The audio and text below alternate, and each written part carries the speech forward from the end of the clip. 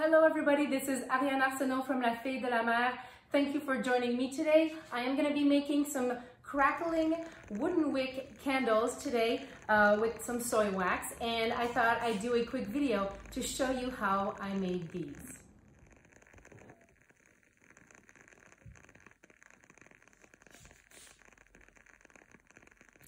As a starter, I have weighed my soy wax and I will now go ahead and melt it. On my workstation, you can see that I have some wooden wicks. So I am actually combining two different wicks in these candles.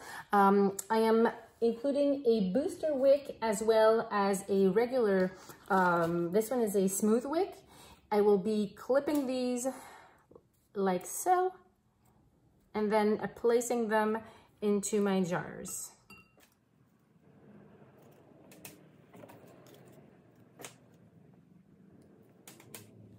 Here I have some wick stickers that are from Candle Science and I am just removing the, the protector and the adhesive and then I will be sticking the wooden wicks onto these.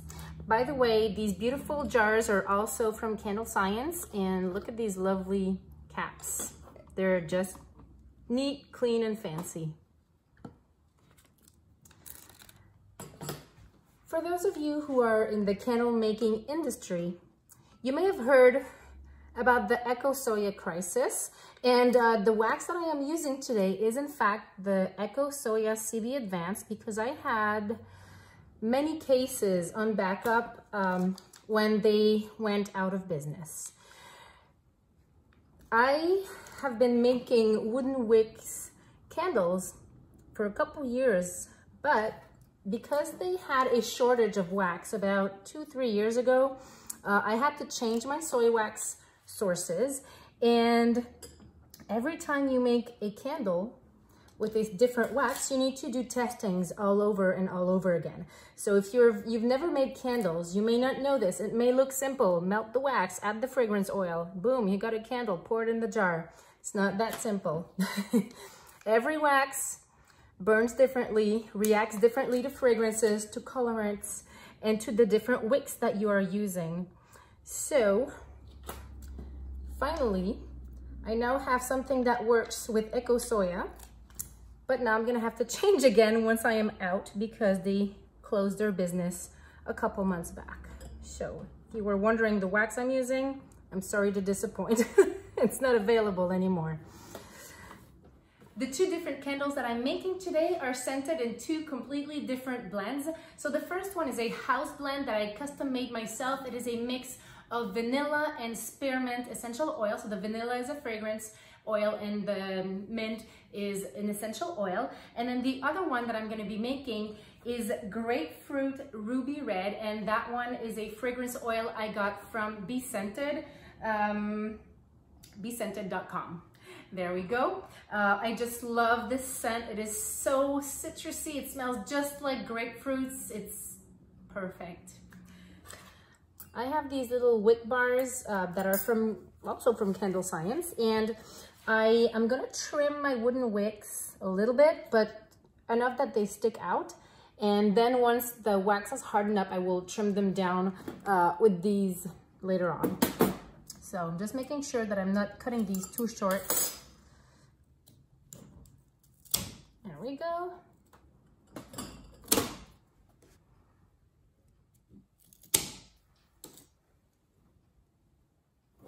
Let's start with the ruby red grapefruit. I'm gonna go ahead and add one drop of the red liquid dye from Candle Science. I just want a light hue to this candle. I don't want the dye to interfere too much with the wooden wicks, um, so I'm gonna keep it simple.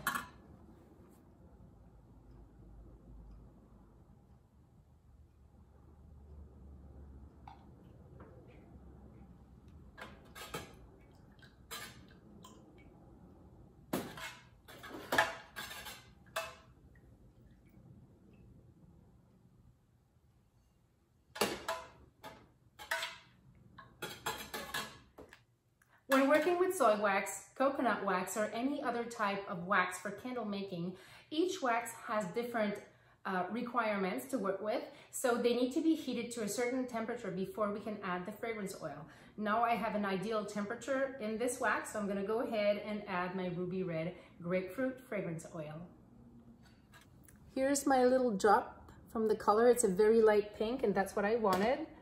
It is now time to pour in the fragrance oil and it's been pre-measured, pre-weighed at the right percentage for this specific type of wax. So I'm gonna stir it in for a couple minutes.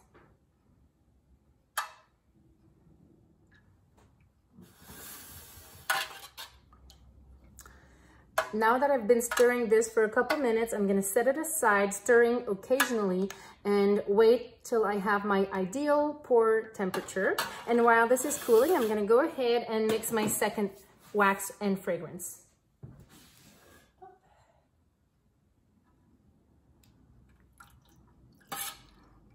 This smells absolutely beautiful as the other wax. I'm gonna stir this for a few minutes and then I will set it aside and let it cool. I am now ready to pour this wax. It is perfect, it's ready to go. And I like pouring on a scale just to make sure that all of my candles have the same weight.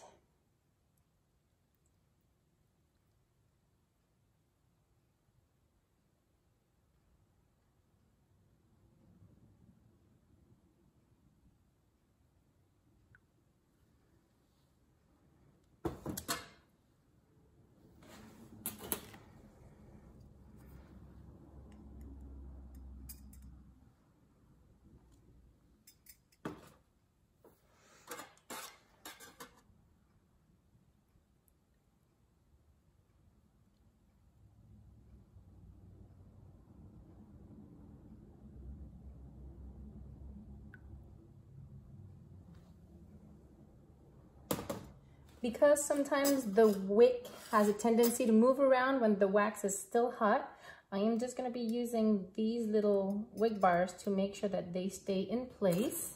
However, you can't really clip them as when you're using cotton wicks. Just making sure that they stay put. There we go. Let's move on to the mint and vanilla candle.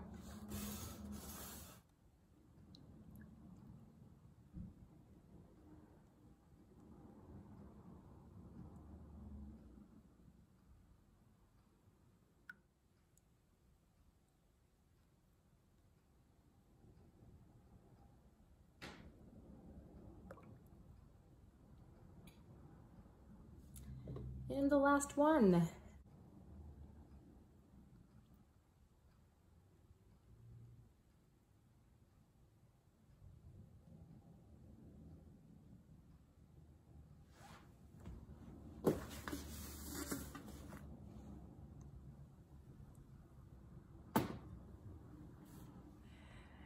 And voila, the candles are poured in the jar. They will need to settle for a good 24 hours before we can move them, a good 48 hours before anybody can light them on. So I'll be back on Monday after this weekend. So it will be plenty of time enough to, for this wax to settle and harden up. And we will cap them, label them, and make them available to our local clients. Now that these have completely hardened up for a good 24 hours, I am wicking down as these are way too long to be burned. So I'm taking off the excess with my big scissors and then I'm gonna trim all the way down with these uh, pliers.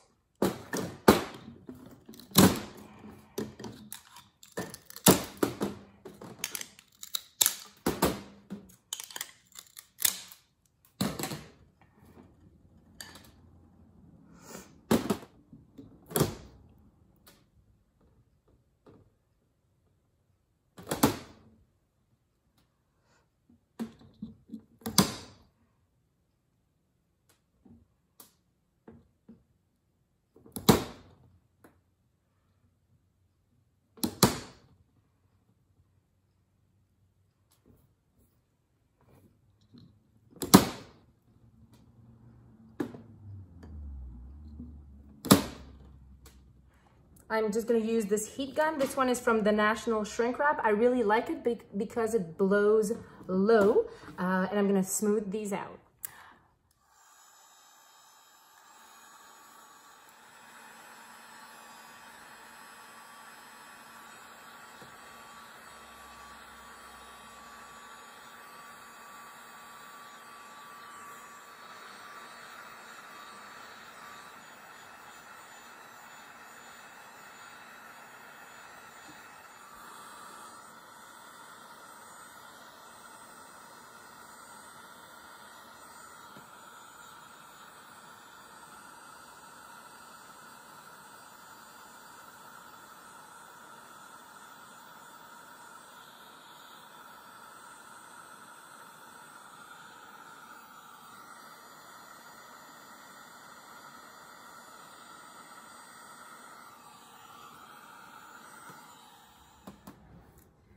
It is now time to place the label. So I have my front label with the, the name uh, of each fragrance as well as the mention that how these are composed. So um, soy wax and wooden wicks.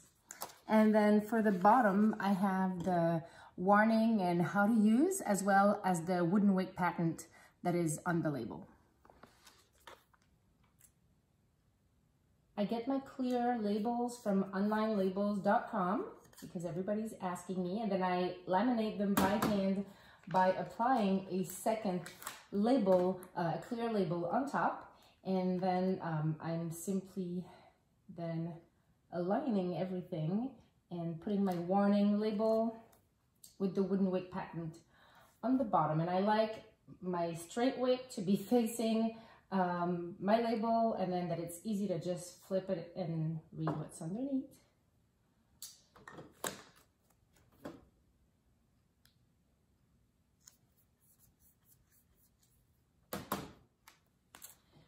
Moving on to the mint and vanilla candle and it smells so good. It's fabulous. I can't wait to light it on fire and um, hear the, the crackling sound of this one. Ah.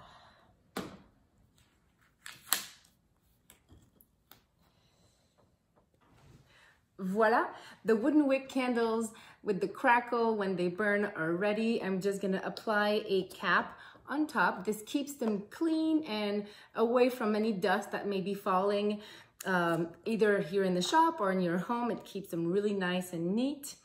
Um, there we go. If you are local to us and you purchase our candles, you should know that we take the jars back once they are empty, so you can just hand wash them, return them with the cap, and we give an in-store credit uh, when you do so.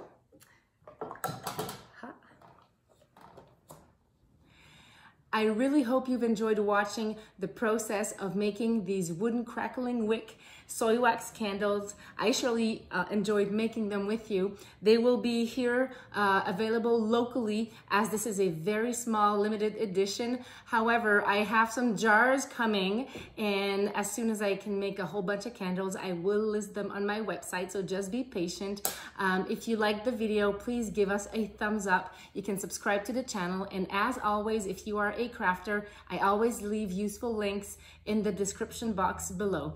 Feel free to leave us a comment or a question in the comment section down below the video.